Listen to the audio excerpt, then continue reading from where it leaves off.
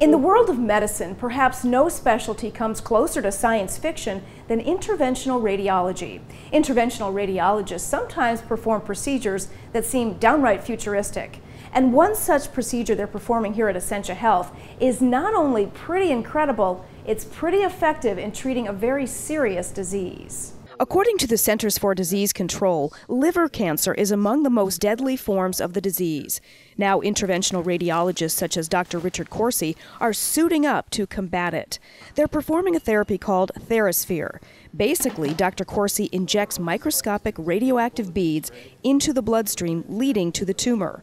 Once there, the beads get stuck inside the tumor, cutting off the blood supply which feeds it. Rather than having multiple radiation therapies where you lay on a table and beams are shot into you, this is actually an internal radiation where you preferentially kill tumors.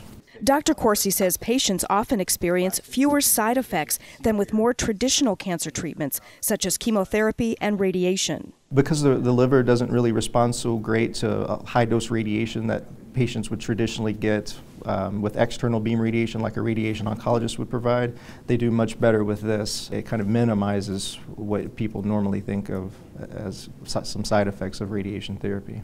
And the results are pretty clear for both patients with liver cancer tumors which start in the liver and for those which start in other parts of the body and spread to the liver. You can clearly see how this patient's liver tumors have shrunk from before treatment on the left to after treatment on the right.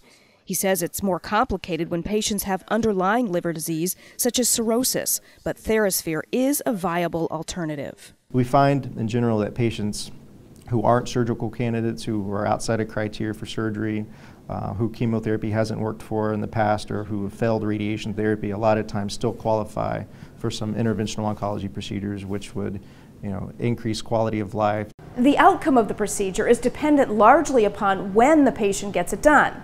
In the earliest stages, it can actually be curative. Later on, it can be helpful in keeping the disease in check. And with advanced liver disease, it can help with pain management. For this Essentia Health Medical Insight, I'm Tracy Briggs.